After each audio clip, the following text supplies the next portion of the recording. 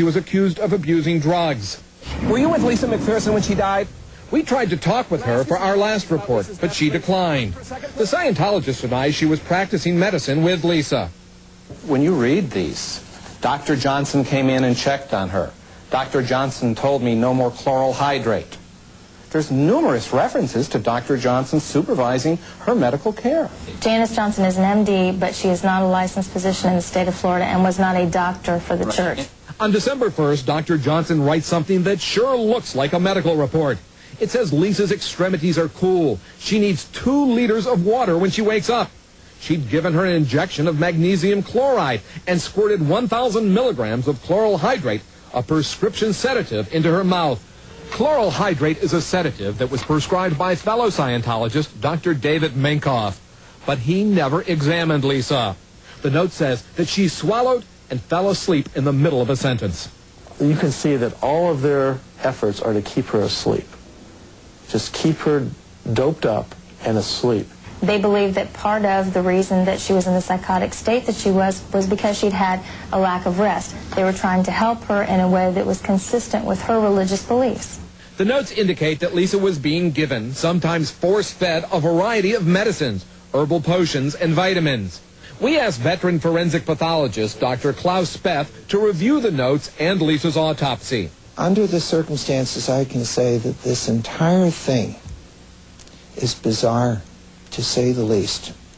Dr. Speth believes the variety and amount of treatments Lisa was receiving resulted in severe dehydration, and that led to the blood clot. For example, the high doses of vitamin B1 can produce insomnia, severe irritability, and headaches. Magnesium is a sedative, but it also produces severe dehydration. Chloral hydrate can produce hallucinations. It can produce severe damage to the kidneys. Dr. Speth says none of the treatments alone are necessarily dangerous, but the combination of all outside of a hospital without lab tests and proper monitoring are very dangerous. You're telling me that the combination of herbs and potions and prescription medicine that they gave her may have interacted to kill her. I would go beyond that. I wouldn't say may have. In fact, did. We have no other explanation for her condition. By November 29th, things were getting worse. The watch said she was quieter, but suspect it's because she's weak. On Saturday, December 2nd, she has tried to stand several times, but is not strong enough yet. There are large gaps in the handwritten notes. The most conspicuous are that there aren't any for the last two days of Lisa's life, a time the medical examiner has speculated that Lisa may have gone into a coma. I'm telling you that we're not holding anything back. So they, there are not, if, they, if they're not here, Okay. we, we have done a search in Florida, in LA, anywhere that we could think of to look for any handwritten notes or documents. Before the release of the notes, church officials told us that Lisa had become suddenly ill on December 5th and was rushed to a hospital in a church van. We now know that Dr. Janice Johnson was driving the van. She drove 25 miles past four emergency rooms to get to a hospital in New Port Richey, where fellow Scientologist Dr. Minkoff was on duty. According to the notes, Lisa was dead on arrival. Laura Vaughn, a lawyer for Scientology you saw in Matt's report, told us that the church strongly disagrees with Dr. Speth's conclusions. She says that one must look at the totality of what Lisa ate and drank and re-emphasize that church members were trying to help Lisa. She added that the church has hired a number of prominent forensic experts and they are preparing reports on Lisa's death. uh, for police. It's a well-known phenomenon in uh, suicide. A frightening thought for thousands of parents and families whose loved ones could fall prey to cults like the so-called higher source in San Diego. It seems really normal.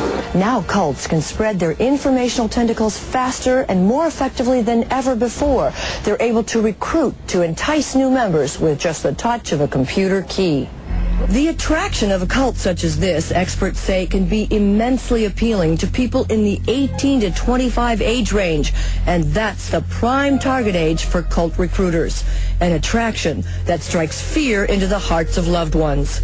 The quest for higher religious meaning will draw a troubled young person into a group that then completely supplants their earlier ties to family. You may lose touch with a child until it's too late.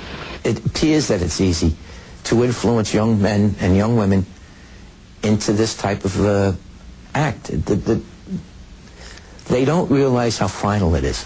New York Police Detective Thomas McKenna says a lot of the unanswered questions depend upon whether the cult's leader died in the mass suicide or whether he will lead others to a similar fate. Does he kill 39 people and not join them uh, and, and end it all, or does he move on to others? Uh, it's a, a possibility that he has others. And according to cult expert Charles Strozier, this kind of secretive yet high-tech cult isn't easily exposed, nor can these kinds of tragedies be easily prevented. Many groups, like the San Diego group, are so quiescent and so unto themselves and so withdrawn from society that there's no indication that they've given evidence that they are uh, planning anything like a mass suicide. So how can anybody do anything to prevent it? One cult expert told us that the end of the millennium in the year 2000 is also an occasion when more cult activity could take place.